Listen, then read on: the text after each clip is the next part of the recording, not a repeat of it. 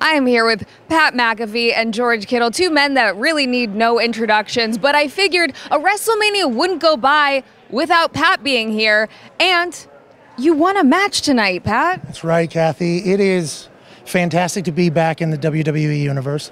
I'd been sitting in a bus all day, you know, waiting for my moment. Nobody was able to really come and see me. I had a chance to see George earlier. It was a nice boost to the spirits. I asked him if I needed any help later, would he be able to do it? He said absolutely. He actually had a tank top on Underneath. for the moment. Uh, so I'm pumped to be here, lucky to be here. Miz got his ass beat, and that's because George Kittle's here. And it is a fantastic time to be alive, Cathy. I mean, George, is this the best day of your life? Wow.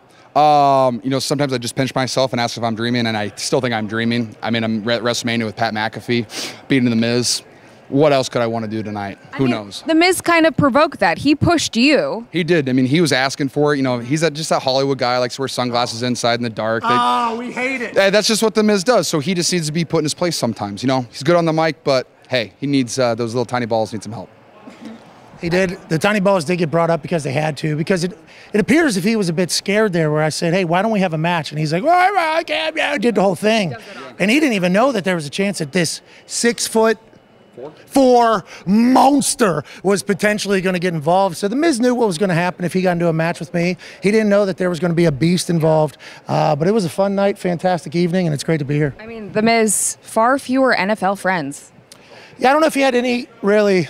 Any friends or Cathy, those are your words. Those are your- Whoa, he's, he's got kids. those were Yeah, yeah. NFL friends. We'll just stick with the NFL friends thing. Yeah, yeah, yeah. Absolutely. Yeah. uh, congratulations on that WrestleMania moment and your big win tonight. Thank you so much. Still undefeated in sanctioned matches uh, at WrestleMania.